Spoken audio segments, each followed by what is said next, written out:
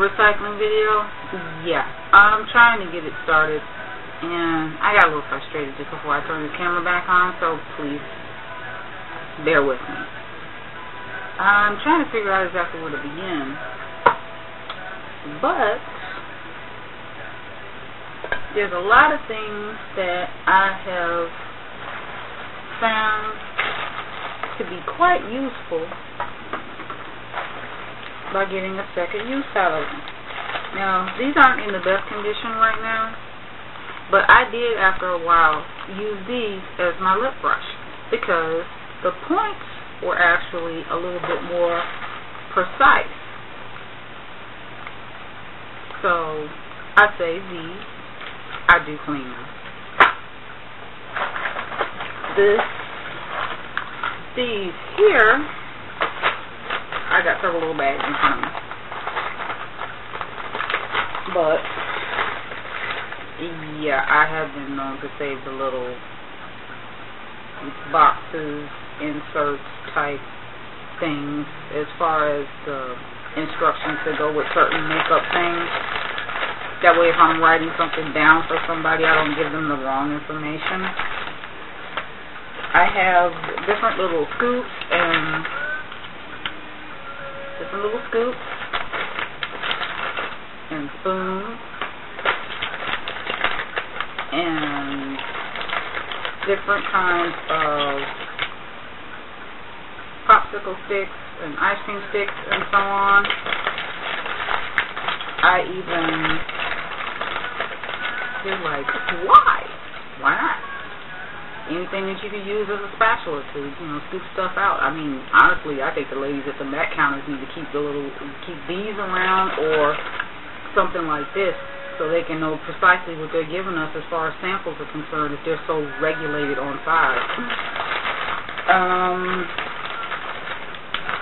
for all of my ladies that use chemicals, know, little relaxer kits and everything, the little stirs that come inside, aka tongue depressors wash them off with the hot water when you're done and hit them again with the neutralizing shampoo.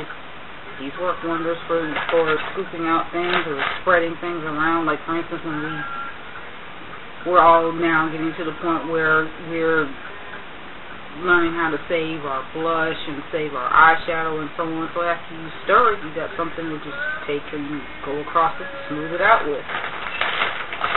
Works for me. So that's those. I have a ton of the little. I love the way Barstow Mama calls these, these Barbie doll brushes, but I actually, since I really don't use these anymore as far as application is concerned, I actually use them to get into those little cracks and crevices when it comes to taking off my makeup instead of putting it on. Every time someone has done my face, I get the applicators that they use on me. I take them home, I wash them off, and I use them for me. I buy brand new ones for everybody else. So don't get it twisted. Those of us that have kidlets know what these little things are. little syringes when you want the little precise measurements on how much liquid to put in this, like if you're making your you don't want to do the cap by cap method as far as your mixing medium is concerned, or trying to do your blush your brush cleanser or whatever. Or if anything, if there's anything you're trying to put together, even when you're putting your shadows back together, how much alcohol? Syringe, suck it right up, plop it right down in there. Don't know, double use for these. These are little, believe it or not, these are little combs that they have in the doctor's office. They're clean. These are the clean ones. Not the ones that they stuck in your ear, but the clean ones. And see how small that hole is? It's a great funnel. You want to transfer liquid from one thing to another.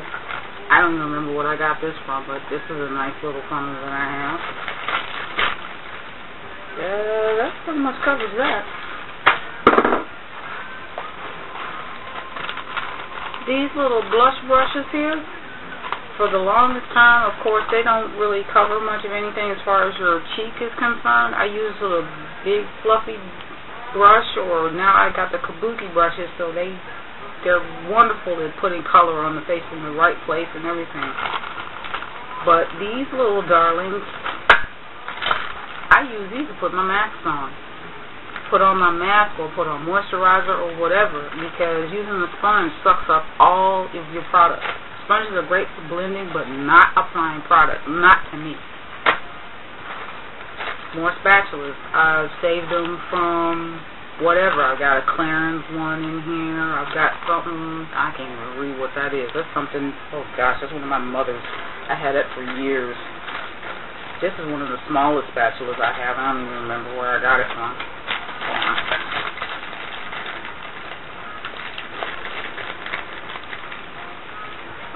That one.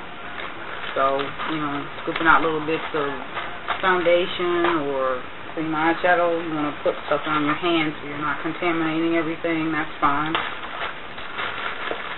I know everybody talks about throwing away their mascaras and so on and so forth after after two months, after three months, or whatever. Okay, throw the mascara out, but why throw away the applicator? You can reuse it. Excuse me. Alright. Excuse me, that was my daughter. No video is more important than that, so I need to talk to her.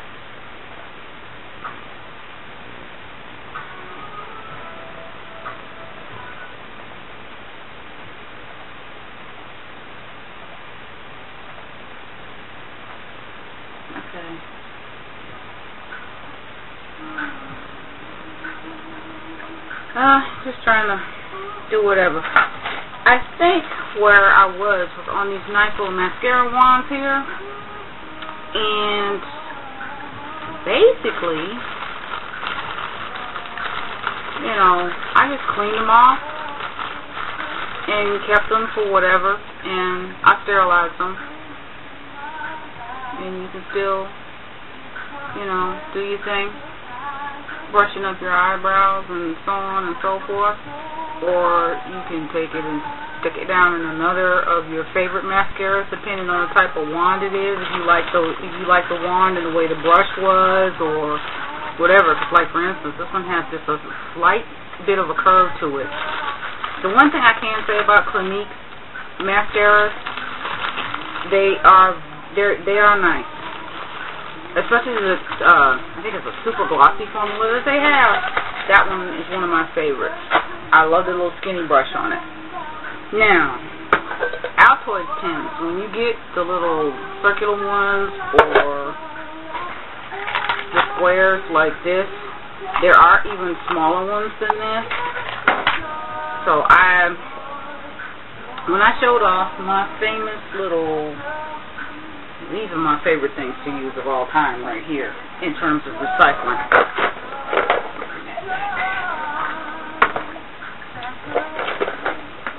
These. The, the flushable wipes containers that I get. I love putting my little stuff in here. This helps me organize and separate makeup for whatever it is, by company, by type, by whatever. And we've all got these in the mail little AOL thing, and they come in many different forms. This one is a uh, one of those press board types. It has like the little flip lid on it. So this is like instant palette for me. All I gotta do is put these bad boys down now and secure them. Getting back to the Altoid tins for a minute. This particular one, I use this for putting in powder like when I have sisters like this and I don't have anywhere to put it, I just put it in here. So whatever I don't use, of course, close it up. You still got stuff in there. And you keep on going. Like I said, I love stacks. And these are readily available at your Walgreens. All I do is either you can put the little stickers that's on there or you can label them yourself if you can write small enough on the container like I have. There's that. There's the droppers and everything. Another thing for the sisters who relax hair, you know how we have the little bottles and stuff that come in as far as the activator is concerned? This is only 1.8 fluid ounces. So you can put something in here and you don't have to worry about it coming out. This has one of the childproof caps on it. You gotta press down and do this before you take it off. So it's got a good seal on it. It's not going anywhere. So you can put your little liquids and stuff like this in here. And something else that comes out of those kits too you can say these bottles, these are the right size. They're only four fluid ounces.